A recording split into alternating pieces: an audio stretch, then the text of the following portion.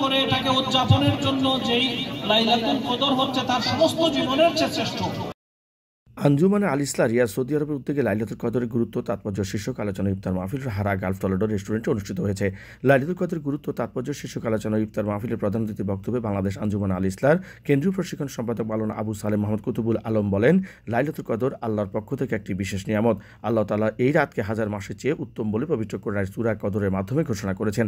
রিয়াদ আল ইসলার ভারপ্রাপ্ত সভাপতি মালানা বেলাল আহমেদের সভাপতিতে সিনিয়র সহসভাপতি মেজবাউদ্দিন তপাদার সঞ্চালনায় অনুষ্ঠানে বিশেষ অতিথি হিসেবে বক্তব্য রাখেন রিয়াদ শাখার উপদেষ্টা আব্দুল মালিক জাবের মালানা আব্দুল আহাদ, সাধারণ সম্পাদক মোহাম্মদ অলিউর রহমান মানিক, সিলেট বিভাগ প্রবাসী পরিষদের সভাপতি ইব্রাহিম আলী, উপদেষ্টা আব্দুল আজিজ মাসুক তালালাবাদ অ্যাসোসিয়েশনের ভারপ্রাপ্ত সভাপতি জাহিদ হোসেন, সাংগঠনিক সম্পাদক শাহাবুদ্দিন।